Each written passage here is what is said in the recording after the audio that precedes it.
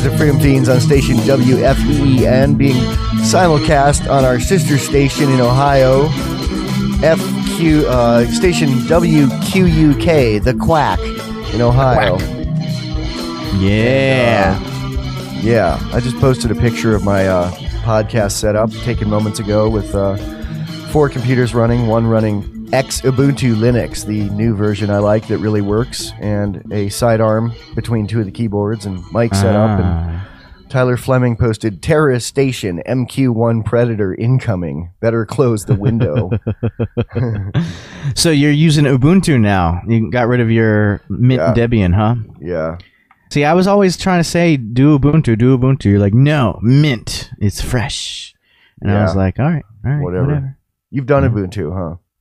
Yeah, we did it at work when I worked for a very big e-commerce site doing tech support. They all switched us to Ubuntu. I can. Everybody was all worried Amazon. about it, and you they can't were all you like, worked at Amazon. I can. everybody was like worried about it, like, oh no, it's gonna be harder to do things, but it's it wasn't. like Windows, was- man. Yeah, it was just Linux like now. Windows. It- you know, there's this belief that Linux, like you have to be a programmer to use it. No, I mean, a lot of the computers that they ship over to the third world countries to, you know, steal tax money to give to school children, um, they put Linux on them because they don't have to pay for it, like they do with Windows or Mac. Yep. And Yep. you know, that's kids that like can barely read. Let alone like you know use Western technology, and they can use most or you know new versions of Linux. Yeah, yeah, yeah. Worms, worms. So what you been up to, man? Braving the cold Wyoming winter. Yeah, it was uh, two degrees here last night. Nice. Four nice. degrees. I've been mainly I've been listening to lots of Blue Oyster Cult, and uh, I thought you were gonna be late because you weren't on until I told you to be on right at the hour. But I was like, oh wait, isn't he on earlier? Yeah. And when I, when you're on time for Michael, that's late. You have to be early. It is. to be And I- considered on time for Michael. I had a whole bunch of notes about Blue Oyster Cult that I was gonna read and just tell stories about my tertiary connection with them over the years. What's your tertiary connection? Oh, um, Oh, I think I'll One it. Housewife? May, may, what? Huh? instead of ten thousand maniacs, the Did one I say housewife 10,000 lady. Maniacs? I was Blue Oyster Cult. I was thinking of. I know, I know, but I thought that was your connection. It was like she No. dug them and you dug no, her. I've, I insulted one of them in person in the recording studio, and then uh, t- okay, okay, Yeah. So we're gonna call this episode "Tyranny and Mutation" after the uh, the record, the Blue Oyster Cult. Uh, I kind of like doing nothing is better than doing evil. I was thinking of saving that for Thursday because uh, we can get more into it then without the interruptions. Okay. But, uh, ah, good point. Yeah, Good tyranny and mutation kind of goes along with the theory we came up with that um, politicians are a separate uh, subspecies of human called uh, Homo parasitus. So they have mutated through their tyranny. So we Yeah. call this tyranny mutation. But uh, yeah, somebody somebody's trying to add us on Skype. God, people call into our call-in show. It's so annoying. It was your idea, or I was it added my idea? It was Ian's Oh. idea. I oh it. yeah, I it like was it. Ian's I like idea. it. Okay. So yeah, Blue Oyster Cult. Uh, their first record is amazing. I don't know if it's the first record. It's called Blue Oyster Cult by Blue Oyster Cult, and uh, it has the the song "Cities on Flame" with rock and roll that I named my band "Kitties on Flame" with rock and roll after. And my Ah. brother, my brother got it for me when I was like ten when it first came out, and he is not hip enough to have come up with buying that. I think he went into a record store and said, "I have a weird little brother that likes loud music. What should I get him?" and it was really the first like dark, really heavy record I ever heard, and I I played it until the grooves wore out. Nice. But, uh, nice. What, what does it sound like when that happens? Does it just not play? Yeah, analog distortion is something that young people don't really know much about unless they've DJ'd like you. So you know what it sounds like. Well, I always I, I always DJ digitally. Like I never had actual vinyl grooves. I sampled from actual vinyl. Uh, we we used to house it, and this guy had this nice collection, and he was kind of an audiophile. He had like super fancy preamp or whatever, uh, and receiver and speakers, and uh, I would plug his RCA's into my MPC and sample vinyl and uh, make beats out of it. So I understand how that that analog distortion sounded. It wasn't super distorted, but you know that warm crackle that everybody loves Yeah. so much You know they had which really is different. Like you can do that digitally, like in Cubase. There's a a warmifier or whatever, and there's a A, a, thing that's simu- plug-in. yeah. Well, yeah, pretty much. You can. You, there's actually a one of the knobs on it says you know 1930 or like 1830 or whenever the first phonograph was invented, and then the other end of it is you know current, and uh, you turn it to see how you know it sounded throughout the the decades. You know, there's a really good um, Free Talk Live the other day. They didn't talk about liberty that much, which you know, I like. I like Liberty podcasts where they don't always talk about liberty, which we often do, like we're doing now. And when we, we find the liberty, It's it, it's but- it's great when liberty is the is the basic premise. Like you start from liberty Yeah. and then you can go in any direction because Well, that's how was- statist media is, and that's why statism is ingrained in everybody's brain because I they listened- start. I listened with to the the middle the premise. middle hour of this episode, so I didn't hear if they like introduced it with the liberty angle or tied it up at the end. It was the middle of it was just I loved it. It was they were talking about technology that's no longer used because it's outmoded or that some people still use. And I called in Mhm. and I talked about tubes and how we use tube preamps. And Tubes. um, yeah. the guy who called in after me said, I want to add to what uh, your last caller, Neema Vedadi, said. And Ian, Ian corrected him and said, Oh, that was Michael Dean. And the guy said, Ah, some fiend. And I don't even know who this guy was. And Ben Quaker said someone just That's signed up on his forum with the username Freedom Fiend 420, and no one knows who it is. So we're getting around. Uh, ah, But, uh, nice, nice. Yeah, Blue Oyster Probably Cult. Frank. um, Blue Oyster Cult. So I think I've talked a little about. They were recording this record when Bomb was recording our first record in 1986, engineered by Dave Bock, who now makes Dave Bock microphones. Who uh, I've been to his house a bunch, and he he actually has a tube amp for his stereo, which is kind of a really old school thing to have these days. Like he, I thought know- people still did that though. I thought that it was one of the one of the things where tubes still exist is in yeah. uh, content producers like us, our preamps, and also you know super rich audiophiles who buy the usually best not for play out though, because, but yeah, I mean, yeah, um, that's Yeah. even more rare. It's more common for people to have a tube preamp in the studio, which Ian had never heard of, Oh. which intrigued me. Although he knew what carts were, I said, "Did you play that Freedom Feens bump from your cart? you know what a cart is? Mm-mm. Uh, in radio before computers, you had the ads on these little uh, looped cassette type tapes about the size of an eight track. Do you know what an eight track tape is? Yeah, yeah. Okay. It was it Well, was mono and it sounded Yeah, like ass. They had 30 second, 60 second, 90 second carts, and you'd put an ad on them. And when it's ad time, Ah. you'd pop it Ah. into the player, and it would Okay, cue it up okay. automatically. So, uh, but anyway, so Blue Oyster Cult, they were recording their their after their like three or four amazing records. They kind of like broke up for a while and then got back to or just you know they were doing a comeback record. And this was right before Nirvana came out and destroyed everything like that. Um, destroyed but- everything with awesomeness. well, yeah.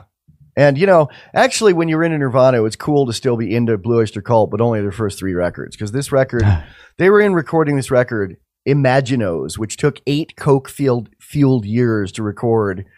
Uh, when Nice. it came out, it was panned by critics and fans. It didn't sell. The record company tried to didn't want to release it. The band had to sue it to get it re- sue them to get it released.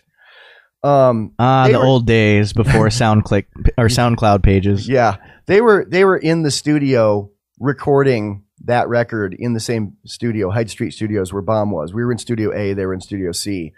They had the door open. we We're recording vocals, and I wandered up there to have it. You know, the and um, one of the members of the band, one of the main members of the band, was out having a cigarette. Uh, not Buck Dharma, the other guy, Eric. Uh, God, what's his name? I don't know. I'm fucking Eric. Oyster? Oh, we can't. Yeah, Eric, the guy with the glasses. But um, Hmm. yeah, he was. Uh, he was. He was out have a cigarette, and I, I walked up to him and I was like, you know, I've I've I've recorded and mixed my whole band's record in the three days that you've been trying to do one line of lyrics and haven't finished. and and I said, I you used do to say shit like that I, all the I did, time. and I said I used to love you guys. I used to love you guys, but I don't love you guys anymore. I was probably the first fan to tell him that record sucked. Wow. You know, this was like three years into the eight years of recording it. you were like, man, China, you used to be cool. I know. Yep. And then their producer manager Sandy Pearlman, who uh, is sort of parodied in that more cro- that more cowbell thing. Like Christopher Walken is basically playing Sandy Pearlman. You know the you know the thing Saturday Night Live. More. Oh yeah, oh yeah. Yeah. Ah, yeah. I got a fever. The prescription. More That's- cowbell. Yeah, they call him something else in there, but that's Sandy Pearlman. And um, he wanted to come see Bomb because he was trying to get out of heavy rock, that kind of stuff, and wanted to produce punk rock. And he came to see us, wanted to be on the guest list, and Tony Fag said, make him pay. So between those two things, we probably could have been huge, but uh, we blew it. We blew Oyster Cult. More you about it! More about Blue Oyster Cult and personal responsibility with Freedom Feens coming back after this. A science fiction comic adventure from Big Head Press. Quantum Vibe. It's year 2520.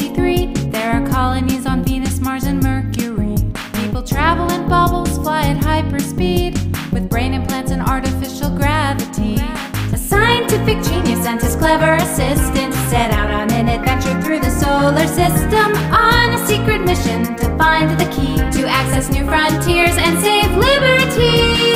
Quantum Vibe. There's a robot girl and zany creatures made with genetically engineered features, and corporate villains crave the opportunity to steal a profit from others' ingenuity. A scientific genius and his clever assistant set out on an adventure through the solar system on a secret mission to find the key to access new frontiers and save liberty. Did your world collapse when Ron Paul didn't win? Don't keep hoping for some great man to fix government through government. Complete your evolution today to full on anarcho capitalist. Reward your brain with the freedom feens and quit breaking your heart with some politician. While the libertarians argue, But who would build the roads? the freedom feens have already built the roads and moved on to making the great media content of the libertarian paradise. Freedomfeens.com. That's freedomfeens.com. and back to the Tyranny Freedom Feens Live is back. Tyranny mutation. Blue Oyster Yeah. Cult are from uh, Long Island. Mark Stevens is from Long Island. Oh, So Okay. Patti Smith, though. I think like a lot of people are probably from there, right? It's Well, got like a population of a yeah. million, Yeah. something like that. Yeah. Yeah, a million people who want the government to help them after a natural disaster, but probably think preppers should be thrown in jail. I saw a really, really offensive comment. Okay, I got to finish my Blue Oyster Cult thing. My wife hates Blue Oyster Cult, which is weird. Really? She likes- Even she Don't likes- Fear the Reaper? How can anybody hate Don't Fear the Reaper? It's got all Yeah. that cowbell. I know. I mean, she likes a lot of stuff from that era. She grew up in that era. But I asked her why, and she said, well, for one thing, you know, I said, did you have some traumatic childhood experience that made you hate them? Because she doesn't usually hate music. And uh, she said, well, part of it was their, aud- their audience. Like everyone I knew in Texas who, who liked them was this unique Texas creature known as the uh, stoner jock or the hippie jock. Ah, yeah, yeah. That's a thing. And uh, Is that? Is, I don't think that's unique to Texas, is it? it was I mean, back then. When I was, everyone that listened, I mean, there were- playing football is awesome, and smoking weed is awesome. So it seems to, you know, fit, right? I, I think we, she and I both mean more like jock, not even necessarily having anything to do with ability to play sports. More of an attitude. Like Ah, you, ah. you played sports and we're not a jock, and there are Yeah. people I call jocks who don't do sports. Mm, Uh, okay. you know, it's just people who like want to kick ass and drink beer and f shit It's, up. it's it's it's people who are going to grow up to be conservatives. Yeah. Or, Okay. you know, liberals. So, um, and I said, no, there must be something more than that. And she's like, well, there is the time that I was listening to Blue called in my friend's uh, rec room and a raccoon attacked me. So- and I'm like, okay, bingo. What is this? An episode of Family Guy? that I mean, come on. That would have taken years for a psychiatrist to get through, but you know, I know her. took about three minutes. Yeah. I didn't know that actually happened in real life. I Well, thought they- that was a cartoon joke. They'd actually rescued a baby raccoon and named him Rocky after the Beatles song. Ugh. and, uh, Uh, and they raised him from a you know a kit i think is the term for a small raccoon uh, and uh but at, by, at one point it, it had kind of reached puberty and you know it had confusing feelings and was full of Mm. testosterone and trying to prove itself in the Mm. world and it latched onto the back of her head and like bit and clawed and that's pretty family guy Mm. so that's why she doesn't like Mm. Blue Oyster Cult. And she said also because they suck. But Mm. more cowbell, okay. more okay. raccoon. yeah. So um, I think I told the whole story, man. Yeah, okay. that's a Okay. lot. That's a lot. To get On to- I was going to actually do a whole. things. I was going to do a whole anarchy gumbo on that, like with myself, On- interviewing myself. on Blue Oyster Cult. yeah. So I saw a really offensive. Uh, okay. Boehner told the House GOP to fall in line and work with the Democrats. Like the guy who became the speaker by saying, We Mhm. will never do what those horrible Democrats want to do, and was elected to do that, is now like, Okay, get in line. Yeah, yeah, yeah. I think he's trying to turn the We- we- Republicans into anarchists, the one that Ron Paul didn't already do that for by just showing them the ridiculousness of representatives. I, I, I doubt his intentions are that pure at all. Well, I, I'm sure his intentions are pure, but I'm sure No, they're I think that's going to be the, the unintended consequence. Ah, but uh, ah, I hope so. I hope so. So Ron Paul, I've been predicting is going to come out as an anarchist. He's gotten a lot closer in the past. We've been election. predicting. I predicted it first. I think. Okay, we did. Whatever. It's going to The be a good Feens blog did. post when he finally does it. I mean, he quotes Rothbard on the on the floor, but uh, Yeah, yeah. in USA Today this week, he said. Uh, I think people have had enough of me. I do not have much confidence in the political system and never did. And, yeah, I uh, saw that. That was awesome. Yeah. Yep, and he did a um an interview on Alex Jones yesterday where he was even Ah, going I- further than that, and he talked about how there were 12 million less voters this time than in the last presidential Nice. election, Nice. uh, which Yeah, I didn't. I didn't hear his Alex Jones interview. Um, but uh, I was reading on Lew Rockwell, and Lew was hinting at uh, the fact that Ron was going to have a bigger platform than even his congressional post from which to speak the virtues of liberty from. So I don't know what they're planning, but um, you know, hopefully it's something huge. Sometimes gonna- they like to pimp their a- stuff, and it's not that big. I think he's going to become a cast member on Jersey Shore. It sounds like to me. uh, yeah, that'd be awesome. That'd he be should be a judge on America's Got Talent. He should. He maybe he'll start his own anarchist cable news network, station? like we've been Yeah. wanting somebody to do forever. Yeah. Well, Yeah. you know, Alex Jones actually said something that I agreed with for once in that interview. He said, uh, "Yeah, people people giving up on voting. Americans are voting now by buying five million guns a month." nice, nice. I've always said, man. I mean, that's that's your real vote is what you spend your money on and what you put your support against. I mean, because you do that on a minutely basis or an hourly basis. Uh, whereas you get to vote what once every two to four, Four years. years. Yeah, I and mean, you- well, you know- two two for some things, you know. Um, And it's a And it's different a for different states. It's a binary vote too. You know, we talked about that. yeah, before. it's off or on. Right, Yeah. right, right. It's it's no, so it's much on less on. nuanced. It's it's left boot On on, your on. Yeah, nuts there or right boot on your nuts.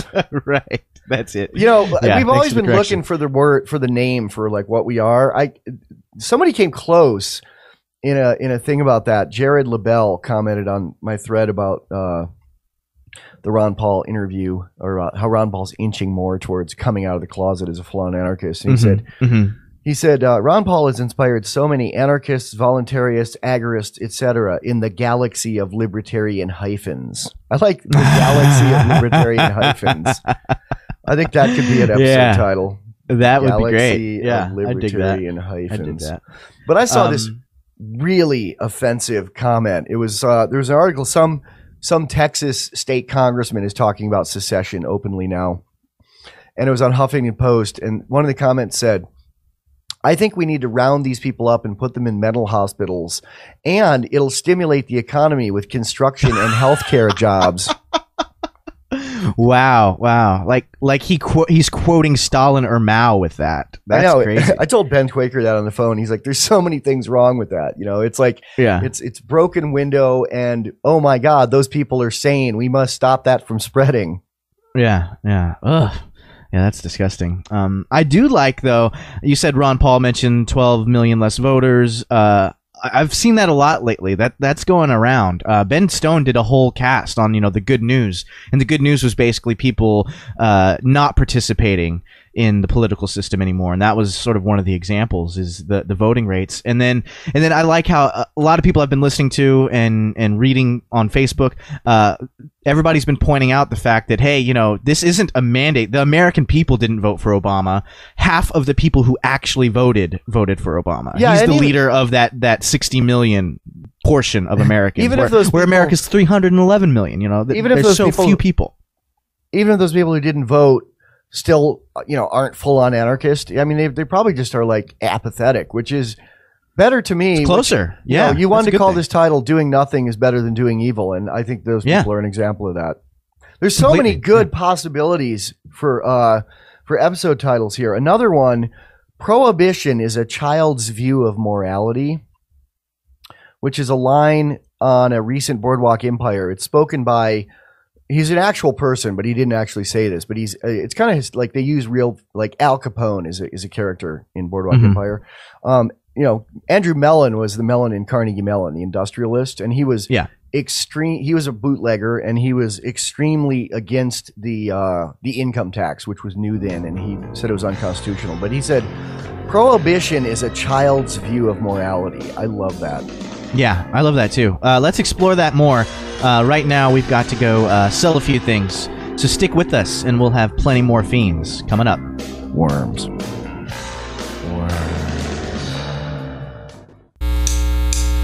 Gun Training with the Non Aggression Principle, Volume 1. Basic Handgun and Rifle with Jared Waltz. First rule of being alive is you own yourself. A groundbreaking approach to firearms and self defense training. Beautifully filmed and easy to understand instructions make this one a must have. Gun Training with the Non Aggression Principle, Volume 1. New DVD from Michael W. Dean, available on Amazon. What does freedom mean? Tune in to LRN.FM to find out. LRN.FM is the Liberty Radio Network, a collection of live talk radio and podcasts, all coming from a principled pro liberty perspective. LRN.FM show hosts aren't left, right, or conspiracy kooks. You can tune in 24 7 to LRN.FM via your phone, computer, satellite, and more. Listen free anytime at LRN.FM. That's LRN.FM.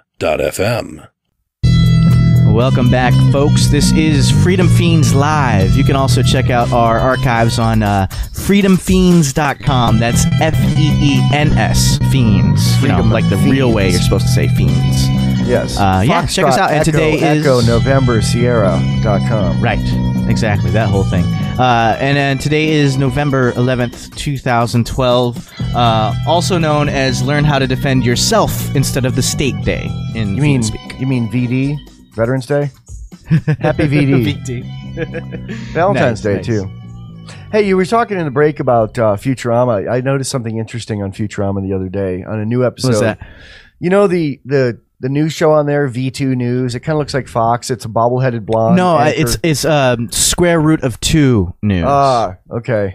Yeah. and and the other anchor is like some big green monstrous uh, alien. Morbo. Yes. Morbo. They they have a new motto. It's uh uh square root of two news. News you can fear. Which I think should be the motto of every mainstream news Yeah, company out yeah. there. That's the you subtext. I mean, that's pretty much all it is. Yeah. Maybe that Yeah, should be a that's great. category. We should add that as a category on uh, Freedom News you can blog. fear because we, we have fear. news you can use already. So I- news you yep, can fear I'm gonna be the add companion. that. I'm going to just steal some time from the feens and do that right Do now. it while- now. While you tell Yeah, a story yeah. that I don't. Yeah. you- I don't care about. But go ahead. Uh, well, I I was gonna, just gonna, I love you. I was gonna go off on, on Morbo since you brought it up. I think Morbo's hilarious. He's the green monster that reads the news on, uh, you know, square root of two news. Square There's this- root of two news. There's this scene where, um, like they're at some big party, and what Morbo always says is, "I will destroy you" to, to you know people when he's Yeah. on the news, and his his wife is like, Is that uh, his you know, wife? wiping. Oh, his wife's No, an alien. no, no, no. That's the, His wife's an alien, and she, she's like wiping his, his face and like like straightening his bow tie and stuff. And he's like, "Stop it, stop it! I will destroy you." yeah. I could just see somebody He's saying basically that to their wife. it's it's basically the inner child of every politician except Ron Ah. Paul. Yeah, yeah, exactly. Ah, okay, okay. Um, I, I'm guessing the story you didn't want me to tell was, uh, you know, You want to talk about Uh, Lincoln? I don't really care. I did. We've talked did. about him so many times, man. We talked about but how he's a tyrant. He killed Americans. He wasn't a hero. He hated black people. I know, I know. I Go know. ahead. but but it's it's Go coming ahead, out so I can you know? use my new my new tagline from Thirty. there's Rock. that there's that new Spielberg movie that's all on his nuts about you know the Fourteenth Amendment and how you know the, the Spielberg movie makes it seem like Lincoln worked so hard behind the scenes to get this done, but really it's the opposite. Like he didn't want to do it, and, and other politicians and abolitions abolitionists sort of forced him into it. Nima. Um. Yeah. Uh-huh. That's a nice story, Jack, but I don't hear my name in it. That's a Jenna Maroney line on Thirty Well, Rock. When when I was ignoring Michael and at an oyster bar, I saw on A blue CNN oyster bar. a blue, it a oyster, blue oyster bar. bar? Yeah, it was a blue oyster and red red crawfish, mud bugs. We were grubbing on uh, some dead animals, and CNN comes Insects on. of the sea. yes, yes. CNN comes on, and they got uh, you know, an this video, this B-roll of an Abraham Lincoln impersonator, like shaking hands with Obama and being all buddy buddy. Ew.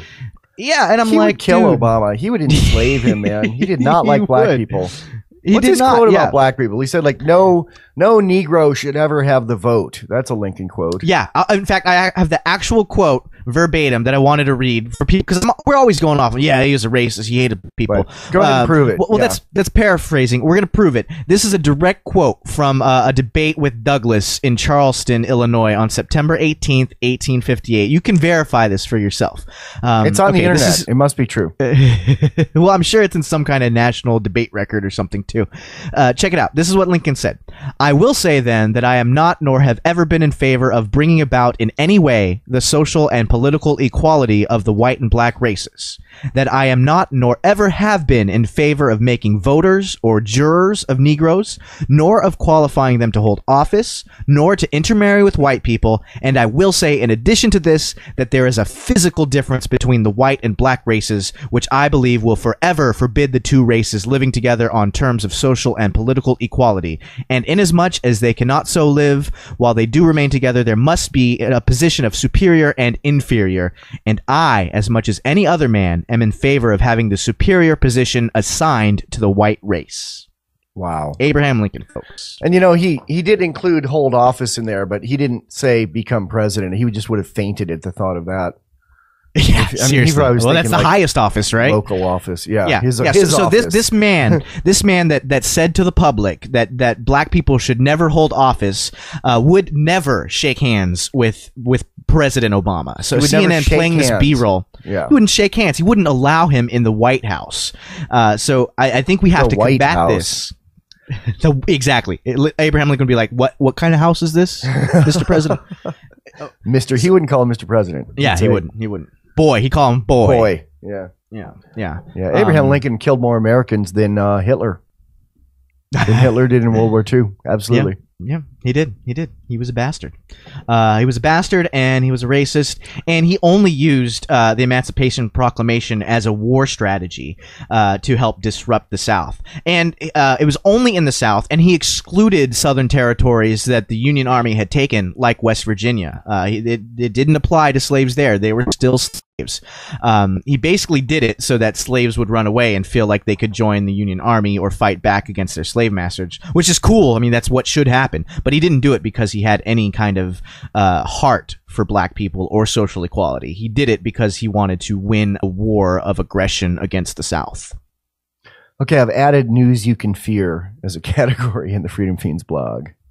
Nice, nice. So that's all I had to say about Lincoln. I just I was at the bar and I said something like to that effect when we were at the, the oyster bar and, and the wife was like, Shh, don't say things like that out loud. People don't know those kind of things. And I'm like, well, they should. They should. So uh, I can say it on the Feens because this is my private property. Feens. I said it. Mm. Yeah. So you did really you didn't say that at the party? No, I did. I said it out loud. And then my wife was like, no, don't say those things. Someone in Poland like, is whatever. downloading gun training with non- non-aggression principle and gun guns and weed the road to freedom on our Oh. torrent site. Oh, there's a new torrent up people should check out. Go to uh, the Freedom Feens blog and look at the torrent link over on the right, top right, or go to freedomfeens.com and click on Torrent Club at the top, and it'll tell you where to go to look for our new torrents. Uh, there's a new torrent up that's all the Freedom Feens art, everything we've ever had, like all sorts of T-shirt designs, button designs, bumper sticker designs, etc. High res versions of them, uh, released Creative Commons in a 60 meg zip of like a hundred and some files Yeah. that you can Yeah. do whatever you want with. You can you could make T-shirts and sell them and not give us money, and you have our permission to do that. But, yeah, not even know. tell us. Like the reward would be that somebody out there is wearing it. We'd That's like it if you told us. and if you do make a bunch of money, we'd like a donation, but you don't have to. So really, like Right. you can go Right. get rich off the Freedom Feens using this stuff, and we would. And if we you want do, tell us how we can do the same. yeah, because we haven't figured it out yet. Well, we Oh, haven't that's figured funny. out because neither of us really want to hustle people, but you know, we're, we're busy yeah, that was making never my content. thing. That was never my thing. I know a guy who's into sales, Fiend who's my good phone. friend here. Maybe I Fiend should phone. get, Yeah. outsource it to him. Yeah. Fiend phone. All Put him on, Fiend put him on phone. commission. there you go. Hello, Fiend. Who's this? Hello? Hello, who is this? You're on the air. Yes, uh, Ross in Arizona. Hi, Ross. Oh, what's hey, we know you. What's up, Ross? Hey, not much, guys. Um, I got two things. Um, would you like? I got, I got some uh, something about James Bond, and then I got a piece. You want which do you want first? The second one was you've got to pee. Did you say? No, a beef. Oh, go with the beef first. All right, a beef. Um, all right, all of us are already pretty good with guns and defense and prepping, but what's Yeah. been bothering me over like the mo- the more like year, one, two, three years now is like this whole zombie thing. Um, I, I hate it. I hate it. It's it it bothers. It's but PC. It's been bothering me for years, and now it's pissing me off. Well, it's become like a, a mainstream thing, but I think it's PC. I think it's a way for gun people and non-gun people, but especially gun people to like visualize having to shoot their neighbor if he's crazed and trying to break in and rape him and kill him uh, without actually internalizing, I might have to shoot a human. That's what I think. I think it's politically correcting Yeah, self I agree. defense. I agree completely. Yeah, it's a coping mechanism. I I just went down to Bass Pro to um, get some uh, Mosin Nagant ammo and stuff, and Nice. uh, like even the kids' toys now are like they got the airsoft and it's like zombie targets and stuff, and they have like 380 auto zombie load. I, I hate it because I hate these suburban survivalists because they think they're special, just like everybody. You're special, just like everybody else, and you're gonna survive. But I hate it because they they they want to survive, but I don't think that they've earned the right to survive because they haven't been laying the philosophical or um, Yeah, but I'm okay with it. groundwork. It's I'm okay with it because they're closer than they were, and I'd rather they're prepping than not prepping and have guns and come rob me Want to when the time comes. to You know? Liberty, but short on. okay. Yeah. We're So in we're- break now, but I'm- let, let's keep. Let's keep them on Let's- for the break. let's keep We're rolling, recording yeah. this for the archives. Keep going. Okay.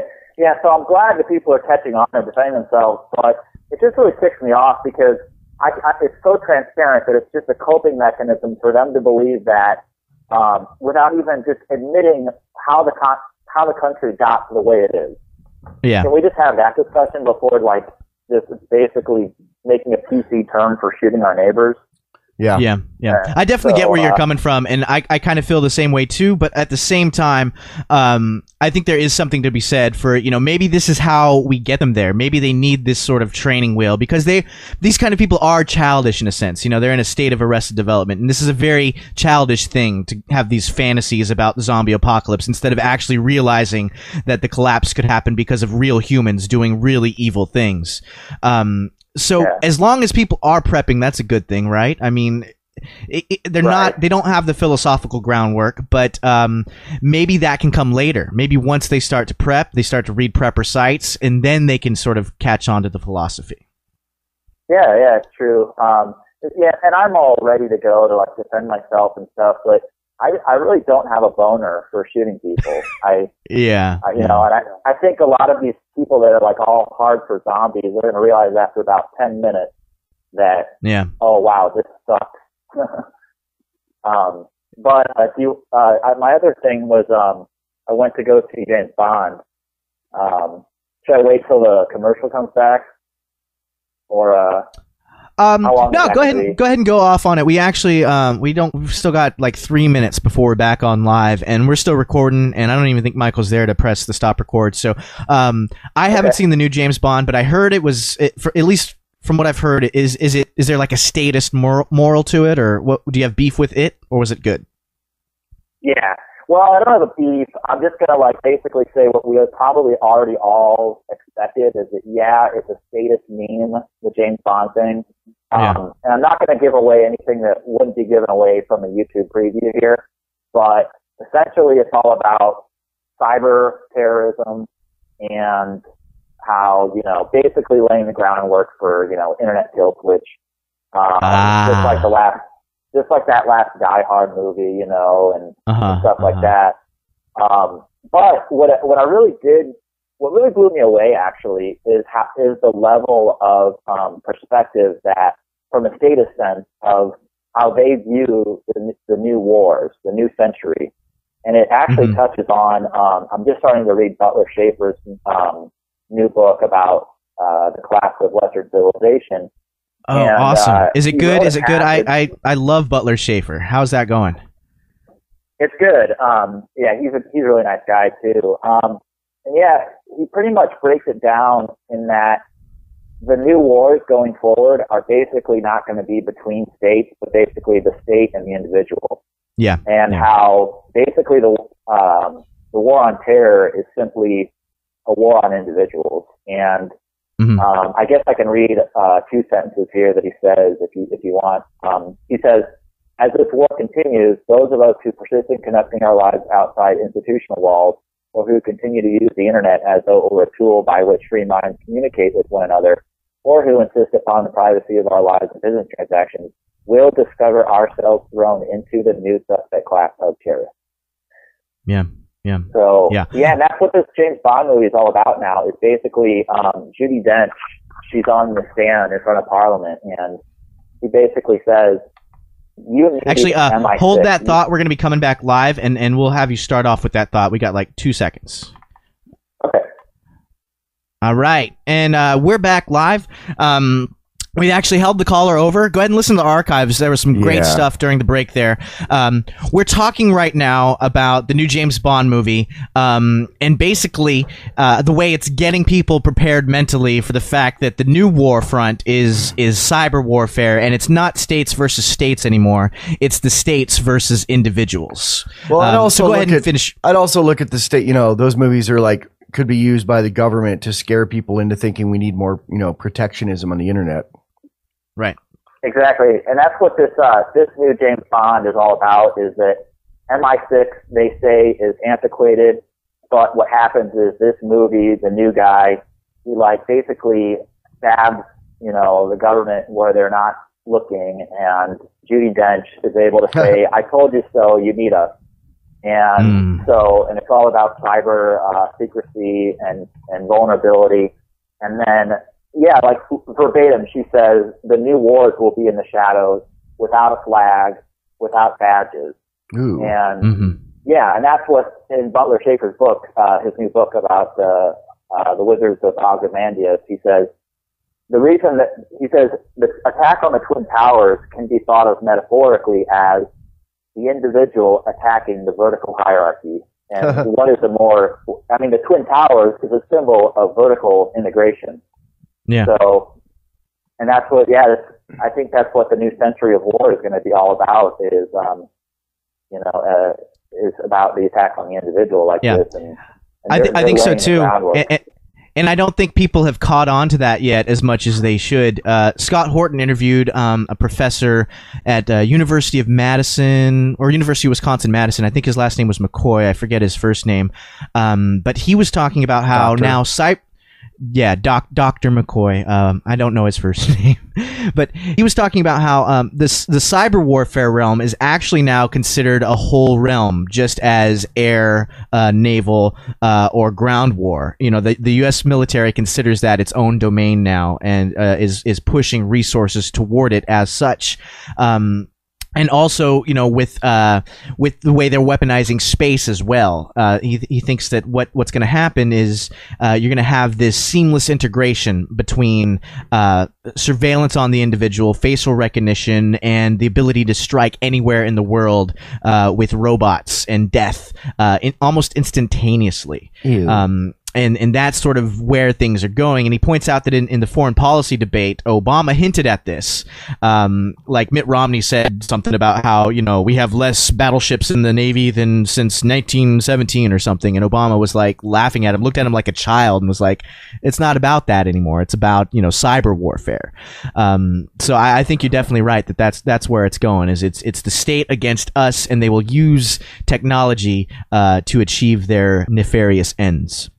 Is this the silver Yeah. dime silver dime card, Ross? yes, yes, Mike. Cool. Um, oh, one other joke. Um, the preview to the 007, there was a preview for Red Dawn, Ah, and I, I, Oh, I yeah. have not seen it yet. Um, but so anyway, uh, at one portion of the preview, it says there are portions of the Western United States which are no longer occupied by the United States government, and uh, and I Cool. said to myself a little too loudly, I go, "It's about time." And uh, five people around, five people around me laughed actually. nice. nice, nice. See, oh, there you go. Also, There you go. during James Bond in the casino, um, he gets like a briefcase full of like 400 million euros, and they pop it open, and I go, I start laughing, and like like four other guys around me start laughing too because they're euros. Yeah, like like big So- freaking deal. no, no, you're laughing not because big freaking deal, but because they're not dollars now, right? Yeah, no, I'm laughing because they're yeah anything fiat, whatever. Okay, okay. You know. Uh, but anyway, so anecdotally, it is nice to see people actually. Um, I think people are out there starting to get it. You know, Cool. I'll end on a positive note there. All right, man. Thanks awesome. for calling Thanks in. for calling. Anytime. Yeah, see you guys. Bye. Right. Peace and worms. Peace and worms. But without the government, who would pick the worms? That's another Worm possible, pickers. Another possible title. Yeah. I just yeah. sent you a picture I just made. Check it out. Uh, okay. Uh, did you send it on the Facebooks or on the Yeah. Gmails? Uh, I sent it to you on the Gmails. Ah, caffeine.fm or dash FM. Nice, nice, nice, nice, nice. Yeah, I want to take. I'm going to take a, a panoramic of my my new setup too. This is not a bit. panoramic, but uh, Oh. your room isn't big enough for to need a panoramic. You can take it all in one shot. Yeah, you? it is because Oh, it's okay. it's cornered. Um, Ah. Yeah, this is not a panorama. Panorama is five times as wide as this, the one I made. Okay, okay. Yeah, it includes Cool beans, the other man. computer at the other end of the room. Is And is the walls. the handgun in there? Is that your Glock? Yeah. Nice. Yeah. Nice. 1.21 gigawatts, someone says. Nice. Yeah. Score, man. Score. But yeah, yeah, the government is going to be uh, attacking you through cyberspace and through space itself. So I was going to uh, say nice story, but I don't hear my name in it, but you said you, so it's okay. So uh, yeah. Janet Napolitano is about to become Attorney General. Hillary's out. Do you know about Well, this? Hillary wasn't Attorney General; she was Secretary of State. I mean, uh, uh, yeah. Wait. Holder, uh, Holder was Attorney General. Holder's leaving, and Yeah, Napolitano is probably going to take her place. Hillary's out. Who knows who could possibly be worse? But there will be somebody. Yeah. Timothy Geithner is out. Who knows who could possibly be worse? I mean, maybe Chavez will take Geithner's place. Actually, um, in the Washington Post article on this, uh, they were mentioning some some person who used to be president or vice president of Goldman Sachs or something. So, Oh. uh, meet meet the new boss, same as the old boss kind of thing. Uh, Suzanne Nora Johnson, former vice chairman of Goldman Sachs. So, So, put the looters in charge of preventing looting. well, well, I'm pretty sure Geithner was also uh, some Yeah, big yeah. mucky muck in Goldman Sachs too. So, Petraeus- no real difference. Petraeus quit as CIA chief uh, because of Yeah. an affair that ended a year ago that only came out after the election and right before he's about to testify about being Benghazi. Yeah, yeah. I think I think the Benghazi was probably what really cinched it. I doubt I doubt he gave a crap about the affair. Uh, as know. far as he was just using that as an excuse because for some reason the American populace is is too, I guess. Uh, I don't even know what the word is, but they won't accept people leaving because of uh, moral problems with you know the policies because they don't even know what the policies are in the first place. It takes some kind of sex scandal. I mean, look at Bill Clinton, right? I mean, the dude was doing horrible things policy wise, but nobody goes to impeach him until he gets a blowy from an intern. Uh. I, I guess that's that's just how you have to sell leaving. You know. Uh, I, I don't know if I'm looking through rose-colored glasses, but I feel like in the good old days, you know, people could resign over, um, you know, disagreements with a philosophy or a policy of an institution they were working for. They Yeah, said that's why that- I, bands I don't agree with that. Bands always say they break up because creative uh, creative differences. It's usually because of money and drugs. But so in bands, it's the opposite. do you know about this uh, meme, Joan the Silencer? Yeah, I saw that. I didn't actually see where it originated from, but um, Oh, I'll I- send I, you the I picture. get, I get what it is. No, I've seen Oh, the picture. I, I get what it is. I I just didn't see it. the video where she's actually putting the paper in front of the guy's mouth. Well, I have a I have a still from that. Have you seen the picture? I've seen the picture, but I haven't seen like the video where she did it the first time. I've only seen the Yeah. photoshops of people making the new, Oh, know, actual ones. Well, it's at the Texas uh, Republican National Convention where a delegate, a delegate named Joan, some gray-haired, cranky old Texan lady, is holding a stack of papers between a microphone and some young guy's mouth who's about to announce support for Ron Paul. I want to know how it played out. Like, did she sit there and hold it the whole time, or did he push the bull dyke away from him? I added I that mean- uh, to our, our glossary definition on horizontal enforcement at the suggestion of a feen fan. I mean, if she did that to me, I would feel justified in Oh, like her. kicking bu- kicking her behind the knee so she fell down, kind of a thing. I well, it's a mic. I would just grab the mic and mic control and hold it at arm's length. And I'm sure that big burly Texan behind him could have helped too. I just sent you the picture by uh let's see, I always Yeah. have to tell you what network I send things on. We've got No, I'm so on it. many I'm on it. Channels it. open right now. Yeah, yeah. What a what a what a bee, Joan A Joan bee. the What a silencer. Paper Joan. Like bitch, Yeah. but also bzz. What a bee. She What a- should go what a get mosquito. Hillary Clinton to sit on her face and I shut thought the they fuck sprayed for mosquitoes in Texas. up. they do in some places. Yeah. Ugh. Yeah. Screw that lady, man. Paper Joan. Why you know Paper that peeps Joan. talk? Yeah. Yeah. Yeah. Um, worms and various things. yeah. So yeah, all that stuff happened, and then things happened, and then we So, talked about them on the here's- themes. Nice story, but I don't hear my name in that, Jack. Uh, here's a good one. Was this is about how stupid people are? Applebee's. I hate You know, Applebee's. Family. Well, yeah, but you know, Screw Apple. I, I respect their I I recognize their right to exist. You Uh, respect their hustle. Yeah. Yeah. Um, as they say in international politics, I respect their right to to exist. You, you recognize their existence. Yeah, I recognize their right to exist. Um, they they said that they're going to have to lay off a bunch of people for Obama because they can't afford it with Obamacare, Hmm. and people are boycotting them because of that. And I'm like, it's not that we hate your God; it's that your God hates our money. You know, it's Yeah. God wants our money. Yeah. People who have that religious uh, love of Obama don't get that though, because he's Obama. He can do no wrong. We'll have more feens coming up here soon for worms. Is it already time? Have you swallowed too much of the state's poison? The Freedom Feens will stick their fingers down your throat and hold your hair back while you hurl. Check out the new show, The Freedom Feens Agenda, on Adam Curry's No Agenda Global Radio. Streaming live every Thursday from 3:30 to 5:30 p.m. East Coast US time. The Freedom Feens agenda is Michael W. Dean and Neema Vedadi's fun and feisty chat about market anarchy, self defense, real money, the digital police state, activism, DIY media, sex pets, and rock and roll. Call in soon before they get droned. Live studio number 307 215 5171 or via Skype to username KittyFeet1. Listen live at nagradio.com. That's nagradio.com. The Freedom Feens from freedomfeens.com. Ugh, I'm so sick of looking at Steve's wedding pics, and I'm all out of passive aggressive comments. What else am I supposed to do at work all day? Sick of stalking your ex on Facebook? Yeah. Are you all out of cute cats and autocorrect mishaps to lol at? Duh! Freedom Feens to the rescue! The Feens now have a blog. Read all about the latest tyranny today. Dream about lip pair. Laugh while Western civilization collapses. Just click on the cat icon to the right of freedomfeens.com. Freedom Feens blog. Read it!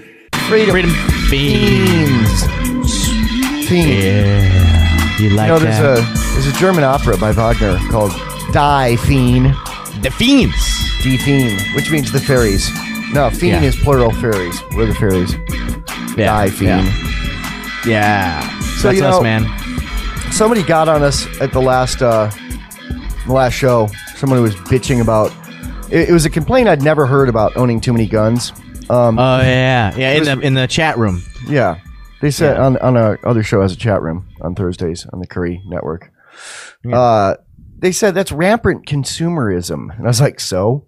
And you said something great. What did you say about that? I said that's not rampant consumerism to buy what you want. That's that's what creates wealth is you trading money that you want less for something you want more. I mean, wealth is people having what they want most.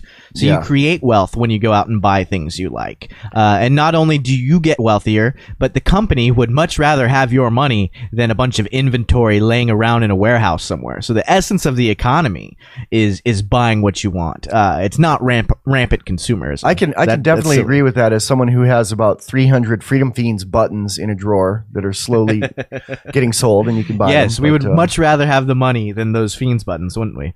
We'll do a two for one. If you order one pack of buttons this week uh, from the Freedom Feen site, you'll get two packs of buttons. You'll get eight for the price of four, which Yeah, is yeah. eight buttons for six bucks with shipping. That's pretty good. So I spent a lot of money on microphones, which someone could say is rampant consumerism, but um, it not only helps the economy of the people that sell the microphones and helps me because I like them, it helps the feens, the listeners, because in our endless pursuit for the best radio sound ever, uh, you know, microphones is a part of it. And I do a lot of blog posts on them and uh, tell people to to buy stuff and tell them recommendations. And I save them money; they don't have to go buy all the stuff. I Yeah. do tests. I upload examples. And yesterday, um, you know, we got a bunch of Amazon cash coming uh, because Ben Quaker ordered. Uh, I can't say everything he ordered on Amazon because he probably doesn't want people to know. But he ordered over a thousand dollars worth of stuff and used our affiliate link. So in two months we'll have seventy dollars of feens Yes. cash. Yes. Which I'm going to And I start. feel like, we should return the favor. Ne- next time I do a big Amazon purchase, I'll use his affiliate link, and Yeah, uh, I can't on and on like that. You can't use each other's, but uh, right. And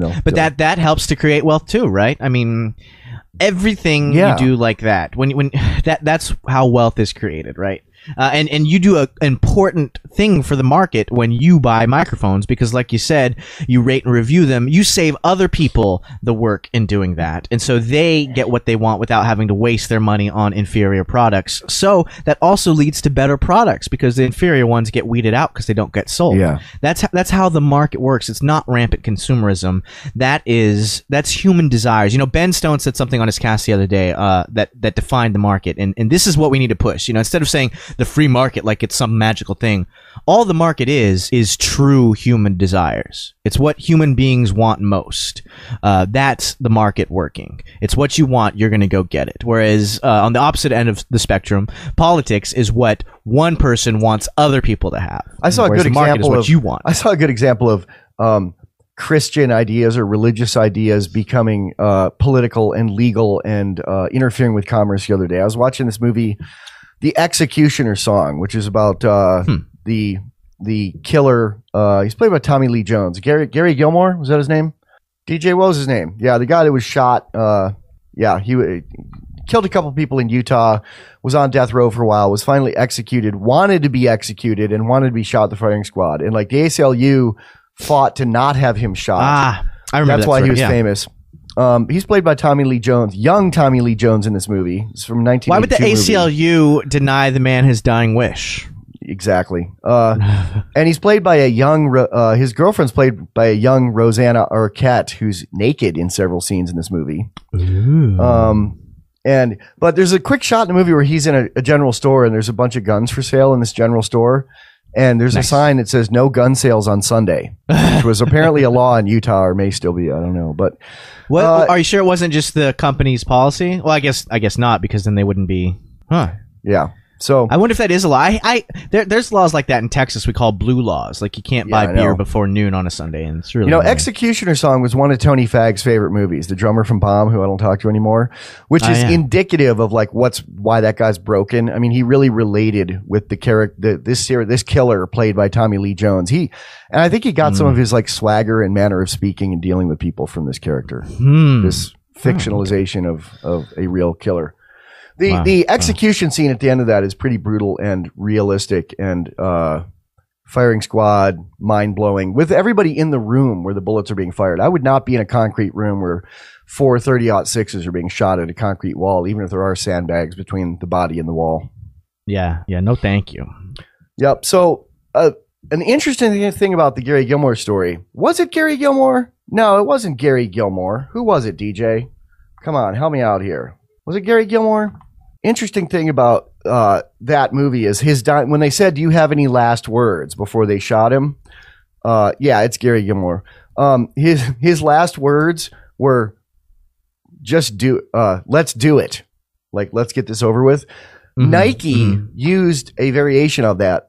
Just, Just do, do it, it. which was you know I learned that from this movie I saw called Art and Copy, which is available on DVD from Netflix. Amazing, amazing movie about modern advertising. It goes into when advertising really came onto its own, at least on TV, it was when I was a kid. Like the 70s through about 10 years ago was the golden age of Mhm. modern advertising. And, you know, why, I mean, why does it stop? What what what signals its Here's my theory the of why it age? stopped. I mean, because commercials they're they're occasionally good now, but they used to be really brilliant and memorable, and uh, often didn't even show the product. I mean, where's the beef? Didn't um, you know the Super Bowl Apple commercial that introduced the computer that had the mouse and the graphical user interface, the 1984 one directed by Ridley Scott. Mhm, mhm. Uh, you know, uh, basically, uh, all these advertisers they interviewed on this, all these great famous advertisers who came up with every slogan I remember as a kid, they really came off to me as a, as like hippies who were capitalists, which is an interesting combination. And I think that a lot of the people now that go into advertising hate capitalism and have an idea of like rampant consumerism is bad, but Mhm. they go to art school because they're artists. They get an art degree. The only job they can get is advertising. So they go into advertising hating commerce. I think that's what's Ugh. wrong with it right now. Mm, maybe, maybe, yeah, you may be right about that. But uh, hippie capitalist, I mean, that's kind of close to anarcho-capitalist, isn't it? I mean, Steve Jobs cap- is the capitalism without the capitalist. violence. Yeah, yeah. that that that's what we want is capitalism without the violence. And a lot of the advertising back then, like now, the advertising just kind of tries to dangle the product in front of your face like a severed head, to quote Steve Albini. Um, but back then, Well, now now I feel like advertising is all about giving giving you that feel goodiness, right? Yeah, like yeah. uh, like this is green and this is sustainable and other and- buzzwords, yeah, Yeah, other buzzwords. I mean, back yeah. then, it like it defined products. Like they talked about how Tommy Hilfiger was like um, was unknown as a designer, and they they did a campaign like saying he's the next Calvin Klein, he's the next so and so. Like, and he was embarrassed by it. He's like, I can't live up to that. And the ad came out. The ads came out and just like propelled him to the point where he suddenly had to improve his product as a response. And Mhm. like, is some of it even defined, um, like the world. I mean, the me generation basically came from advertising, from like the Pepsi generation, the uh, you know, it's about me, the Clairol hair color ads of like, you know, it helps me be me. Uh, which was those were all written by a woman in the 70s and it was like somebody said to her like you invented the me generation. And she said no i just recognized it and pointed it out to people which is what exact- advertising exactly. used to do you know Exactly. I was just about to say that. Yeah, the, the best advertising uh, takes what the market wants and puts it into words that will make you want the product and think that the product. So what they're really doing is recognizing what people want the most and then showing you that and being like, "Hey, we came up with this. You know, Yeah. it was our idea, so buy our product." Yeah, and back then advertisers actually like uh, worked with the company to define the product. Like one of the first ones was Braniff Airlines. Like before that, all airplanes and air That's a real thing. Are you talking about the thing at the end of every South Park episodes? It's like Braniff, believe it. That Maybe. that's a real. That's that was a real, was an airline. Yeah, it was like before Oh, that, wow. like air travel was like military. Like it was gray. You were in a big tube, and like the advertising company for them said, hire pretty women to be stewardesses, put nice clothing on them, paint the planes blue. You know. I mean, basically, before that, like the, the copy person and the and the art person were never in the same room, and in the '60s they put them in the same room, and that was the beginning Nice. of modern advertising. Awesome. Speaking of, we'll, we'll have Morphine coming up. We'll have some morphine, morphine, Some advertising, actually. yes, ads are great. You've read books, attended lectures, and you know the Constitution well enough to know it's a well crafted blueprint to create an ever increasing federal empire. But there's still one thing missing buttons. Freedom Feens now has buttons. We have Freedom Feens, Anarchy Gumbo, and two designs for guns and lead the road to freedom. Wear them with pride. Use them to start conversations with statists. It's only $6 for four buttons, including shipping. Go to freedomfeens.com and click on the link at the top that says Buttons. We're not saying the Freedom Feens are the one true path to anarchist liberation, but it's a good one. If you want to put your voluntarist money where your mouth is, consider making a donation to the Freedom Feens. Go to freedomfeens.com and click on the spinning coin on any post. Then make a one time gift via PayPal or set up a monthly contribution of as little as $3. Giving to the Freedom Feens helps advance education of horizontal liberation throughout the world. The Freedom Feens. We work hard, so send us some money. This is Freedom Feens Live. If you're listening to us on uh, K Quack, is that what it is? It's the quack or the quake. the Quack In Ohio. Yeah, out out there on the radio waves in Ohio, and you accidentally found us. Uh, what I want you to do is look at your latest paycheck. You know, Friday was a few days ago, um, or a, a week ago. You know, if you got paid the week before, look at your paycheck and and total up the money taken out for taxes, and think of anything else in the world that you would pay that much money for uh, a month. Uh, you know, a car or or your cable bill or whatever, how much you, ever you pay for taxes, and just think that all that money is going to these goons in D.C. Do you really want to be paying them that money? Do you feel like you're getting the most bang for your buck, or any bang for your buck at all? Do you feel like it's worth it to pay that money? Don't think of it as they took it out. They they uh you know, and they're going to give it back to you. Just just think if you were paying that, like if you had to write a check. Imagine that. Imagine that. Freaking ridiculous. and then listen to the feens. K Quack, the most powerful station in the Tri Yard area. Actually, it's it's decently powerful. You were telling me, weren't, weren't you? I don't know what you're talking about, man. I have no knowledge. I have no useful information. No, fair enough. Fair enough. You know, there's a there's Um, a uh, article I wrote that you might want to read though. It's called "How to Start Your Own Liberty Radio Station." You can search that on Ah. uh, Google or Freedom Feens. for two hundred and fifty dollars, which is probably about what they take out of your check in a week or in two weeks. I mean, I, I guess it depends on how much money you make, but uh, Well, yeah, I get it out through inflation too. Really, if you think about it, you know. Yeah, through inflation, through uh, you know, I always used to say sales tax was was what rankled me the most, and it still does. But um, I was probably saying that when I uh, when I clicked the button to not withhold any tax uh, on my tax form, and so I wasn't withholding anything, and that was really nice. Um, But then you owed a But- bunch. They said. then I owed a bunch, so yeah, yeah. I wanted to see how that felt because the withholding was an evil thing invented by Milton Friedman. You people who think he's some kind of free marketeer, he's not. He invented that so that people would be less Really? upset. Yeah, yeah. He invented the idea of withholding, saying that if if you withhold the money regularly, people won't notice it, Oh, and then they'll be Nixon? very happy.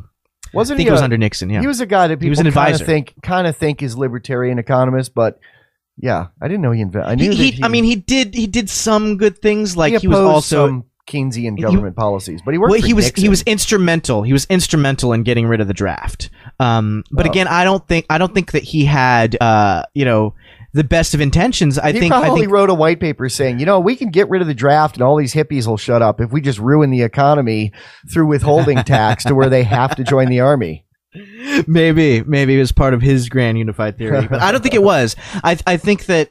He worked for the government, you know, he was an advisor or whatever, um, or, or at least he worked in the furtherment of the government. And so what he did was he would come up with strategies uh, that maybe seem free market to some people, but a lot of times what Ew, they're he just liked doing. a negative income tax, which is if you don't make enough money, the government gives you money.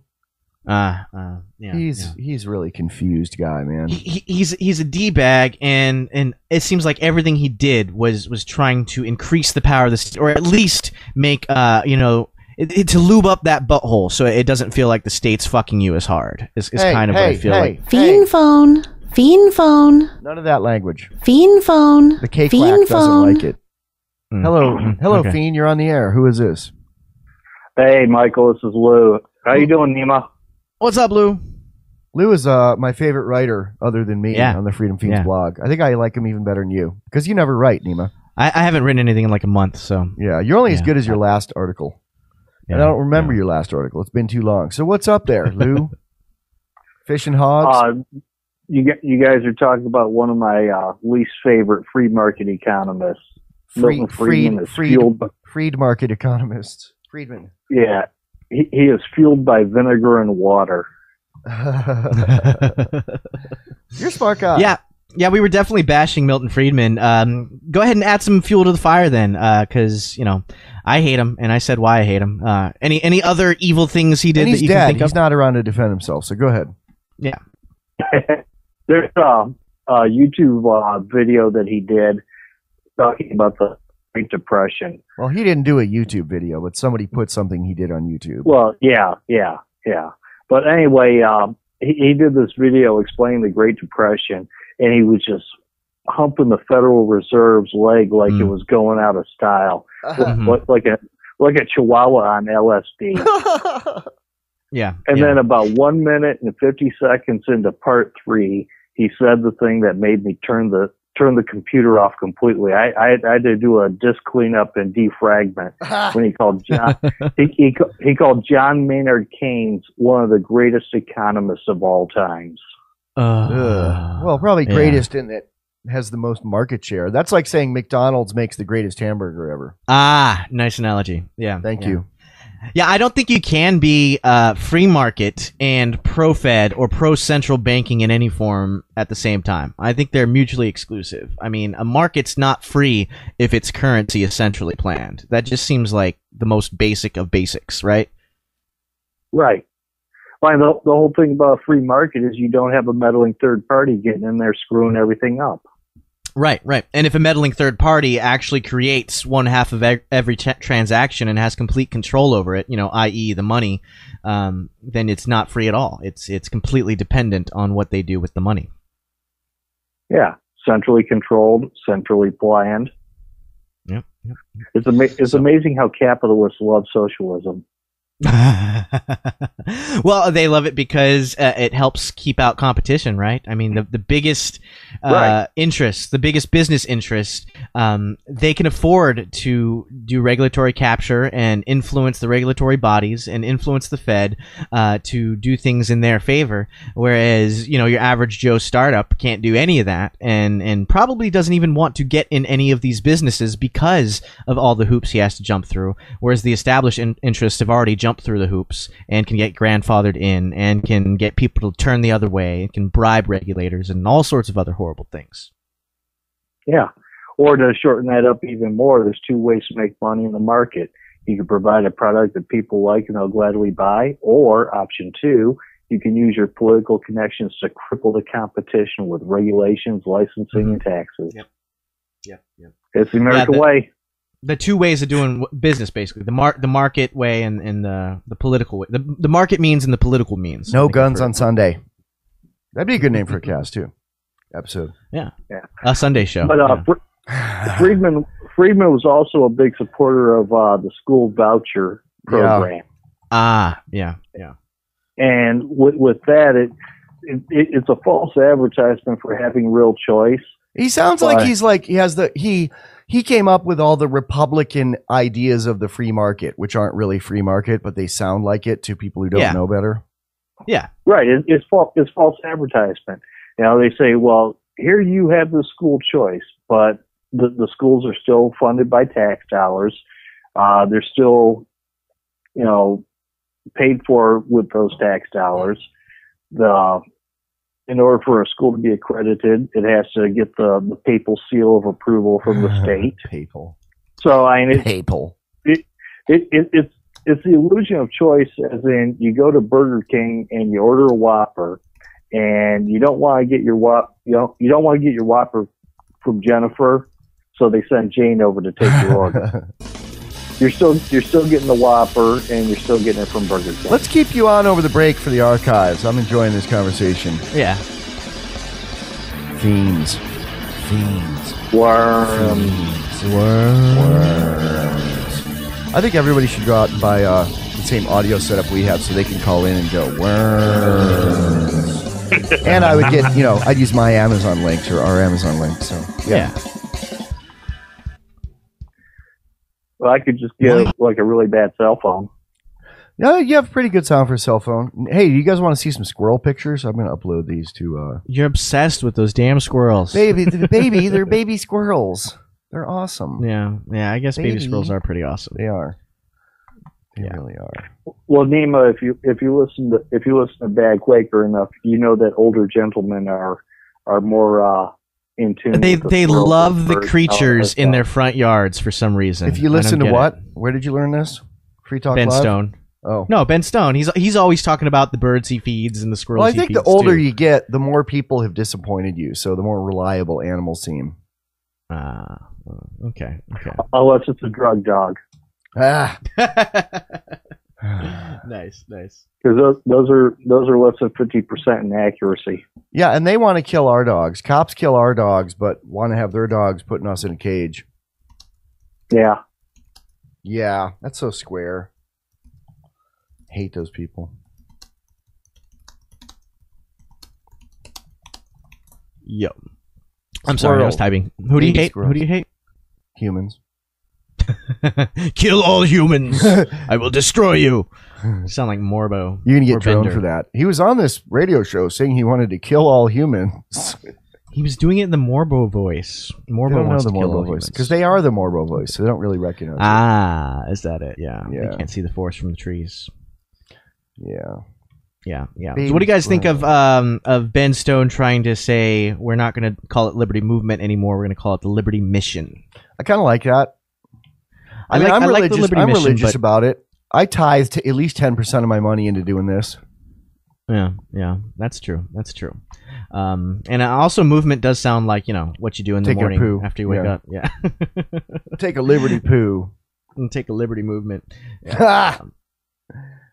I'm gonna, I'm gonna, I'm gonna post that on Facebook. I just took a liberty movement. the the word mission makes it sound more like a definite destination where movement makes it sound like wandering around in circles, which essentially is Ah. what has been happening.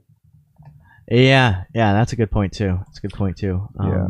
But uh, also, though, is the mission clearly defined? Because also, you could get into the trouble of you know, like No. George Bush with the big mission accomplished thing in front of an aircraft carrier, and uh, Well, I guess think a bunch of people, that risk too. 16 million pe- less people voted. I think that's mission accomplished, at least in the Bush sense.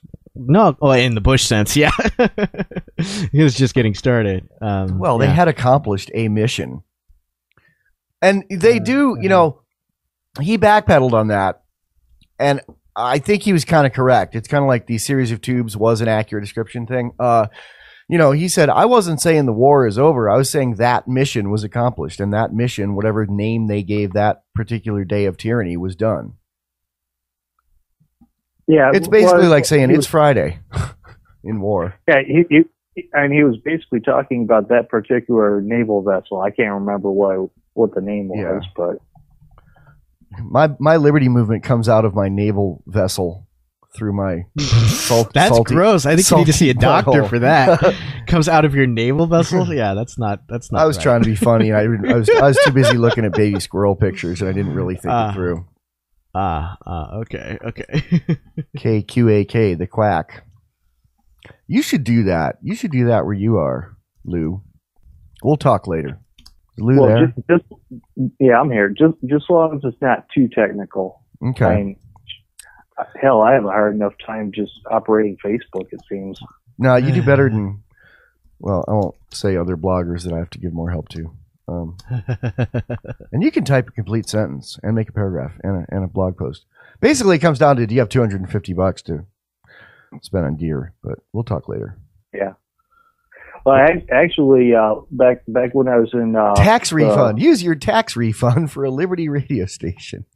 That's a that's Back- that'd be a back when good meme. Back when I was in the uh, the uh, indoctrination camp for uh, grown-ups, I was uh, I was studying foreign languages, and, and one of the big things about studying a foreign language is you have to you have to be good with your own language, meaning the grammar, punctuation, spelling, stuff like that. So Ah, uh, I, I I wound up in a situation where I would uh, I haven't done this in a long time, but I used to cross the German and the English all the time. yeah. Ah. Want to contribute to Liberty but short on cash? You can help the Freedom Feens without even spending a post 1964 dime. Download uTorrent and start seeding Feens episodes. Follow twitter.com slash feentorrents to grab the past episodes and new ones as they post. Leave your computer on, seeding the torrents, while you're at work or asleep. The more people seeding the Feens, the more drone-proof we'll be when the boot comes down. That's twitter.com slash feentorrents. So like my bad mouthing of people I know when it went out live. We're we're not even paying attention anymore. We're so spoiled by doing the uninterrupted Thursday two hour show that we're just not even paying attention to the, the breaks yet. They're playing our commercials, which is the really our Yeah, part. yeah. Most Sorry, guys. We have a couple paid advertisers. I don't know. Really- We've been we've been pretty good for most of the show. It's just this last break that we kind of flubbed because we were too busy talking to Lou. But uh, I it was too busy posting pictures of my my cat Peanut looking out the window at baby squirrels. Yeah, yeah. I was too busy responding to uh, somebody on Facebook. Facebook Uh, we, is, we were is our chat room for this podcast. it is. this- yeah, this live yeah. show. Me, me and a family member were going back and forth on, on uh, Obama because he hates Obama, but I, I posted that photo Romney. that's that's been going around of um, you know the little the little Afghani kids that look like they could be my little brothers, uh, and they're saying, did did you hear Americans just voted on whether the person firing drone missiles at us is a Democrat or a Republican? Which I thought was a, a pretty nice little meme there. And um, Actually, though, the interesting thing is the person firing the missiles. It doesn't matter. I mean, if you're in the in this in the armed services, the president is literally your boss, your direct Yeah. boss. Mhm. You know, so exactly, which which I think is the point it's trying to make is, hey, it doesn't matter who's doing. I know it. from Uh, personal experience that uh, you know a lot of people are complaining about like, well, soldiers' mail-in votes didn't get counted. I know from personal experience or secondhand experience from a family member, a lot of soldiers didn't vote. They didn't bother. Good. I didn't care. Yeah, it's all the same boss. Um, but yeah, somebody was like, uh, Same as old this- boss. And this this guy, this family member, he's very anti-Obama in most regards. But uh, he was like, "Oh, you, do you really think that Obama sits back in his chair and says, "Okay, that one, that little kid, now shoot, shoot the child"?" No. Um, and well, you know, I, at first I was like, "No, I don't think he necessarily does that." But then I thought, He he has done that. I mean, With Google teenage kid, yeah. with the 16 year old kid. Yeah, Google Ab. Uh, uh, how do you say this? Abdurraham Al Alwaki, uh, 16 year old kid. Li- Obama literally did that. He, he pointed Now, at that kid and said, I "Kill under- him." I understand that the president has the moral responsibility when the CIA or the military goes out and does something, especially such a targeted high level, uh, Right. you know, target rich target kind of person. But um, did did Obama have direct input on that? I know he he did on his dad, right? Uh, yeah, I mean, because isn't that how Eric Holder justified it? He says, "Well, there was due process because the president looked at it and, and made the call, Okay. and that's What about enough the for kid, due though? process." I guess Well, I don't know about happened the a week kid, or but two later. yeah, yeah, the, who, the- it who was killed him? Was it the CIA or the Army or the Air Well, Force? it was, Oh, dro- it was a no, I- drone strike, I- so it must have don't been the. CIA, right? Well, no, It was- it was- dro- the army, the, the military has drones, and the CIA have drones, and um, who? Well, it was in Yemen, so I kind of think that all the CIA stuff probably happens in Yemen. yeah, since the military, the have. military use of drones is kind of more documented, at least after the fact, than the CIA stuff. The CIA stuff, even it's like not even known everything they're doing Yeah. or where they're doing it Yeah. or what they've done. Right, right. Um, but anyway, yeah, the second point on that you sort of brought up is is the president is sort of morally he is morally responsible if if he doesn't stop the policy that incinerates. Well, I mean, the president even if he's not home- pointing out little kids. The pre- I If- think the president is responsible for every drug bust and every Yeah. person killed he in could- war because he could end stop it. tomorrow. He Mhm. literally could do a, a sign. You know, he loves those executive orders. He could do one to end the drug war. He could do one to, uh, you know, and I'm not saying that's something people should try to get him to do. He'll never do it. No president will ever do that. They're too profitable. But the fact that he doesn't do that, which Ron Paul would have done on day one, literally, you know, Yeah, literally. Yeah. Uh, Well, the fact that it- presidents don't do that makes them responsible for every death and every bust. Well, let, let, let- let's go back to the kid for a second. My understanding is the kid got hit a week a week or two later. Yeah, What was a was, different the, strike. what was the whole purpose of that? Make sure that he wasn't carrying out his dad's mission, I guess. I think it was so that he, he couldn't sue the government. I think it was so that he Ah. would he would keep his mouth shut. You know, dead men tell no tales kind of things. Because he would have gro- he would have grown up to have fought that either um, you know legally in America through legal means, which he probably would have failed, or I mean, Joined I'm sorry, if you're 16 and you kill my dad with a drone strike, I'd probably become a terrorist. Uh, I Although a lot of I 16 think year olds anybody don't don't like their dad. It depends if it was that that week or two where you're No, even even if you. I'm don't like your dad and you're like, I want to move out, you don't want the the government to kill him Yeah. with a Hellfire missile. I mean, your rebellion, I don't think ever goes that far for most people. Yeah. Yeah. Hey, Dad, can I use the camel this weekend? No. Uh, fuck you. there were probably there's probably a couple months when I was 16 that I wasn't speaking with my dad, but if someone had killed him, I would have been damn upset. Yeah, yeah. yeah. Hey, have you, have you guys seen the article? Uh, if you do a if you do a Google search, it's uh, Anwar al-Awlaki dined at the Pentagon. He did? Yeah. Oh wow.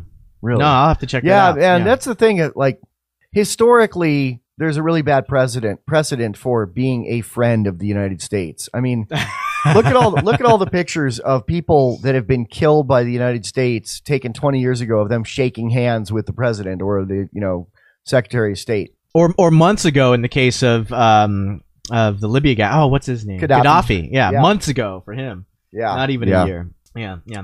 So anyway, um, the good thing about arguing with a Republican about Obama's foreign policy is he ended up saying, "Well, I'm not going to keep sticking up for him."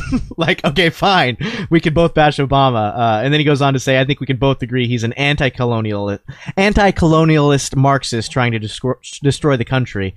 Um, I say, "Well, I, I think he's a pro-colonialist Marxist trying to destroy the country." Yeah. And I guess I guess we can agree with most of the sentence. Yeah, one of those Everybody likes their own colonialism. my colonialism Yeah, can beat right. up your colonialism. it's like your own farts, right? They they like their own brand. There's a meme going around of uh it says half my friends hate Obama, half my friends hate o- hate Romney. My only goal is to get my friends to agree. To agree with each other. Yeah. Yeah. All right. Hey, guys, I, I'm going to get going. Uh, I'm getting a bad signal on the phone. All right. It's good talking to you, man. All right. Yeah. Take Peace care. out, Lou. Worms. Worm. Good timing. All right. Very good times. We got Turn um, up, turn up a little bit, Neema. You got quiet. Sure, again. sure. Well, I'm gonna just talk closer to the mic. Oh, yeah, We've got yeah, uh, our good. final bit of the they can't feens coming they up. can't hear you in Ohio when you're that quiet. It's a long way. to. Uh, it's an Ohio thing. Okay. Tri-yard area. Right, right. More feens coming up. Morphine. Morphine for the statist soul. That's a good title. It is. Did your world collapse when Ron Yeah. Paul didn't win? No. Don't keep hoping for some great man to fix. Since time began, tyrants have taken aim at personal liberties. Now there's a movie that aims back. The government has no more right to tell us what to put in our bodies than they have to take our guns or tell us what books we can read. Six drug police were eaten by bears while raiding a marijuana farm. On your knees, you dirty hippie! On your knees! What's the problem, officer? Today, many cops who enforce pot laws do so only because it provides them with cushy jobs, good benefits, and a chance to push people around. I was an undercover narcotics officer. The drug war is nothing but a farce. The Second Amendment says you gotta keep you and your get intact. Guns and Weed The Road to Freedom. A film by Michael W. Dean and Neema Vedadi. DVD available now at gunsandweed.com or on Amazon. That's gunsandweed.com. Makes the perfect gift. Remember, that's gunsandweed.com. Some news you can use when you order any products from Sure. Uh-huh. If, there, if there's a lot of bootlegs out there, Chinese bootlegs or uh, not Yeah. bootlegs, but um, counterfeits. Order them. From So how do you how do you dealer. combat that? order them from a reputable dealer and don't buy them at deep discount because like apple they have agreements where you can't sell them at significantly below and still be a dealer so buy What from, about like, uh, Amazon? Direct from Uh, Amazon. what I would like do is not buy not a third party seller, but from Amazon, like shipped and sold by Mm, Amazon. maybe but what i would i would just probably buy it i mean they're going to be 99 bucks no matter what you know maybe Mhm. 95 Okay. but We got would- we got five seconds. i would buy it from musician's friend ah okay because they're gonna they're gonna they're not gonna have boots And I believe Yeah. we're back. Um, musician's friend, or what do you think about Zounds? I bought my Zounds DJ nine thousand Yeah. from Zounds, and I really liked dealing with them because they've got the that play as you pay deal, which is Yeah, zero yeah. interest, uh, but breaks it up into payments with no credit check. And yeah I, I think that's a now you're too really good. now you're too loud Well, okay, how's that? Good I, I, I think that's a really good market niche to fill because uh, musicians probably aren't known for having the best credit scores, but they still need gear and they but need they it now. Like they need and it for a wives. They have gig. girlfriends and wives. Ah. who they haven't ruined their it? credit score yet. right, right, right. Speaking of girlfriends and Um, wives, um, we had some technical problems on the last episode. That um, do you want to talk about the causes of those? I think we talked about them on the last episode. no, we yeah, didn't. Um, we didn't. We didn't. You didn't figure did. it out till later.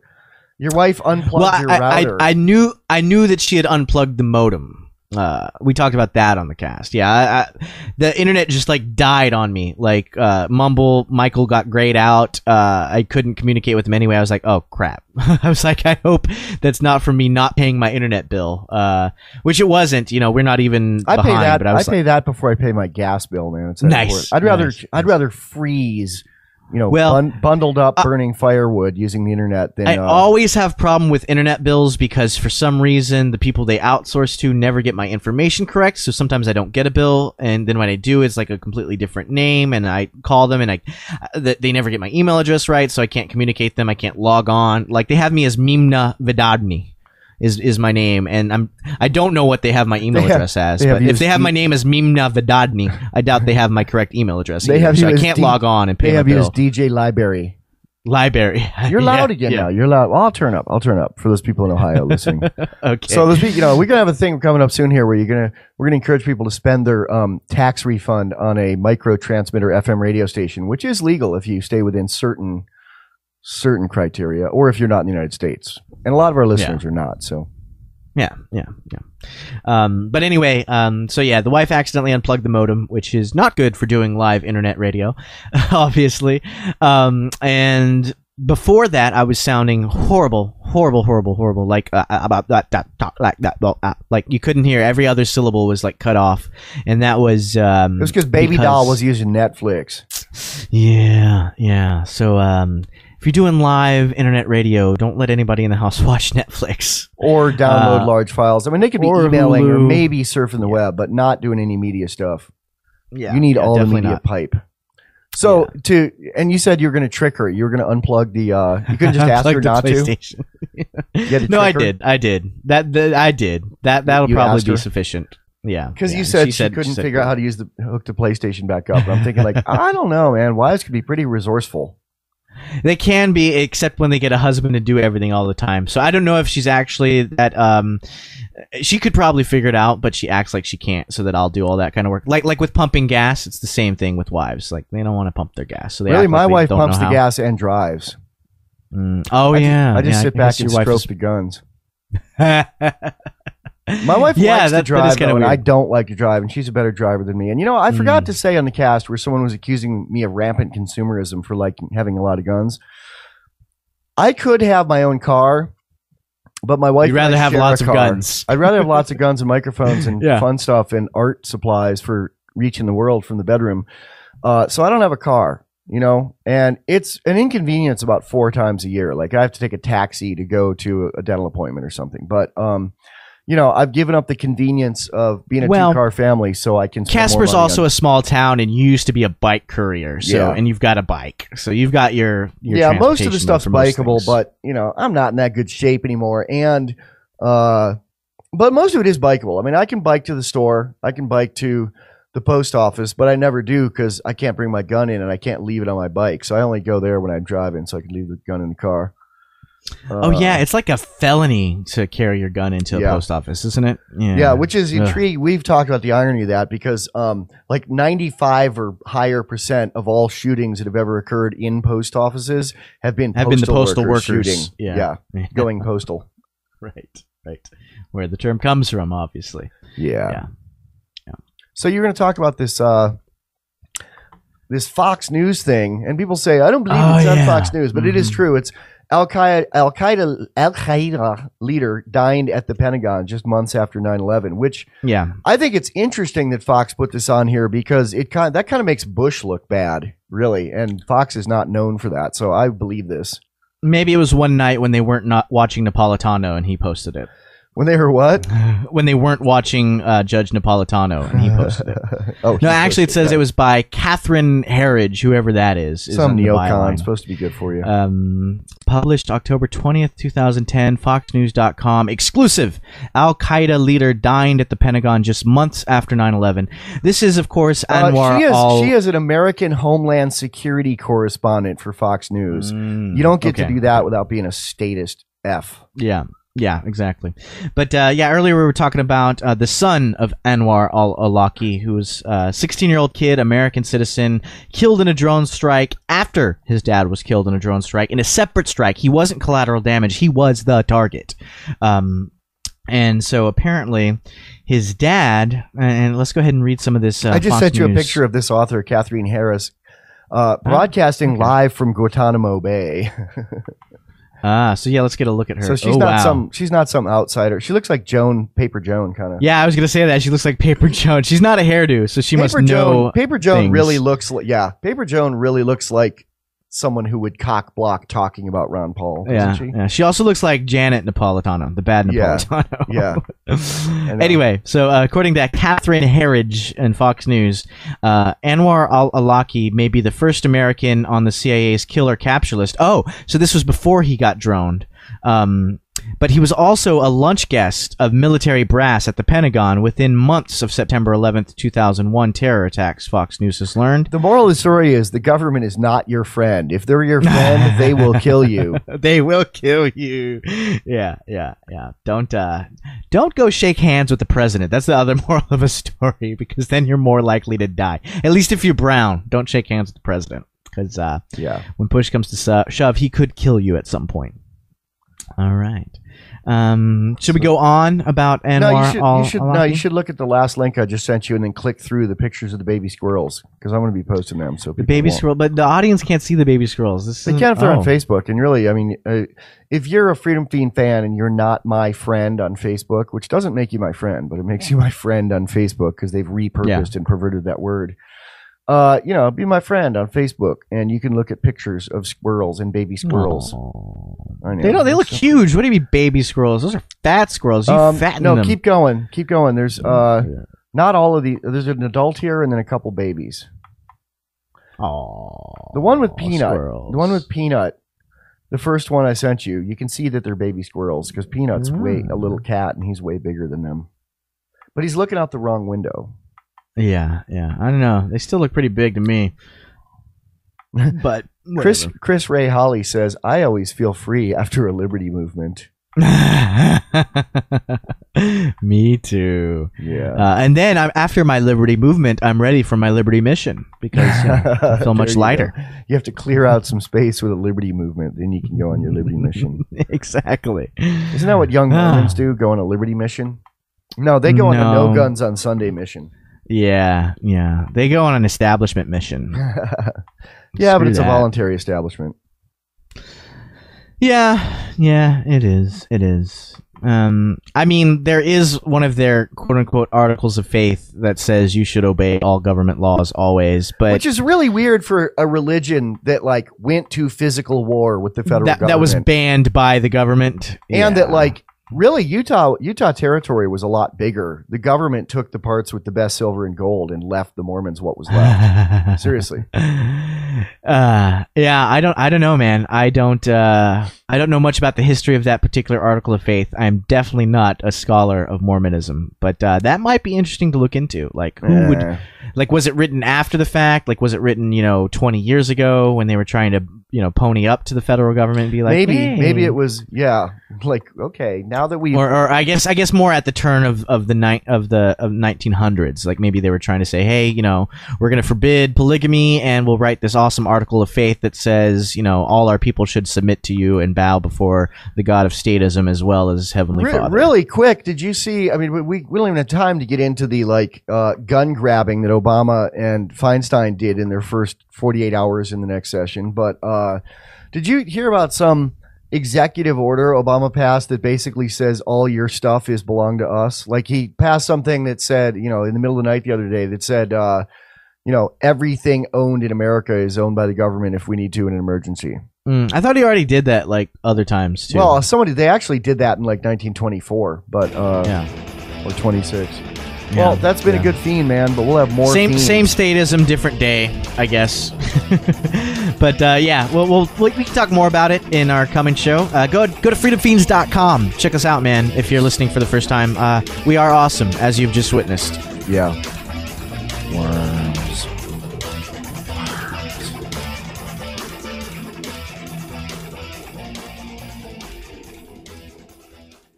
Love the Feens and want to help out? We do take donations and we put them back into our Liberty projects. You can make a donation by clicking on the spinning coin on any post. But what if you want to help, but you ain't got no cash? Or you made a donation and you want to help more? Here's how you can help. Download and seed our torrents to help keep us drone proof. There's a torrent club link at the top of freedomfeens.com. You can also blog the Feens and share episode links on Facebook, Twitter, and elsewhere. You can rate and review our movies on Amazon and IMDb. You can rate and review the Freedom Feens and Anarchy Gumbo and our songs on iTunes.